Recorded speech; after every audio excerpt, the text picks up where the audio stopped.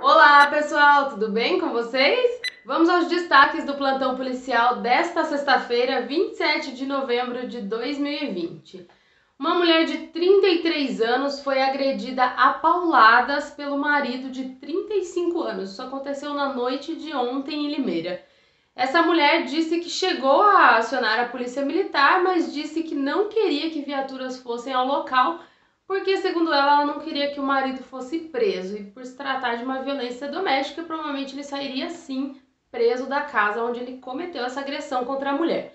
Ela então foi até a delegacia, se dirigiu pessoalmente ao plantão policial e fez a denúncia de lesão corporal, que esse homem teria agredido ela ali com um pedaço de pau, batendo contra a testa, braços, pernas, pé, enfim. Essa mulher apanhou com um pedaço de pau desse marido. Ela disse ainda que não era a primeira vez, ela já era vítima de violência, já teria acontecido outras vezes casos de violência do marido contra ela, mas até então ela não teria tido coragem de denunciar, não teria procurado fazer uma denúncia junto à polícia.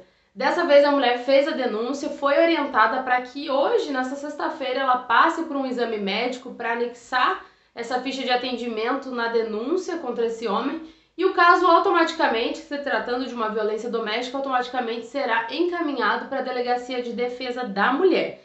Essa mulher vítima de violência pode também procurar a delegacia para que ela seja acompanhada. A Delegacia de Defesa da Mulher, a DDM, tem um atendimento especializado para mulheres vítimas de violência. Infelizmente, mais um caso de violência que a gente vê acontecer na cidade de Limeira.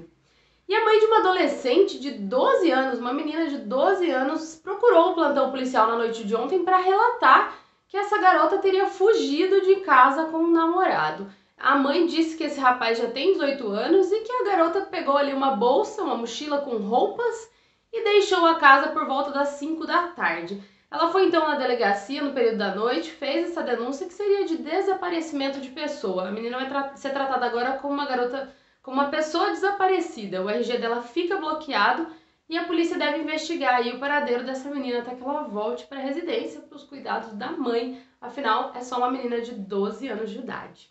E teve um caso ainda que aconteceu também na noite de ontem no Jardim Glória um indivíduo ter invadido uma empresa de ferramentaria e cometido danos ali contra o patrimônio, contra o prédio dessa empresa.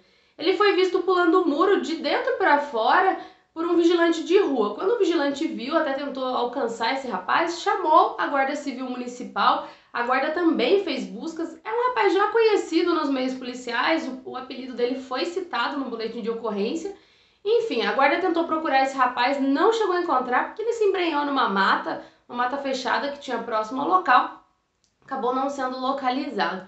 Ele causou danos ali no poste padrão, teria usado alicate. Na verdade, ele até abandonou uma mochila para trás onde tinha um alicate, tinha facas ali dentro, que ele estaria usando para tentar furtar esse imóvel. O caso acabou sendo registrado como dano, dano patrimônio por conta dessa dele ter estragado essa parte do prédio e não ter levado nada, né? Acabou não conseguindo concluir essa tentativa de furto.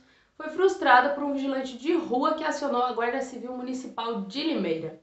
Estes são os destaques de hoje do plantão policial. Eu volto na semana que vem com mais destaques. Um ótimo final de semana para você. Até mais.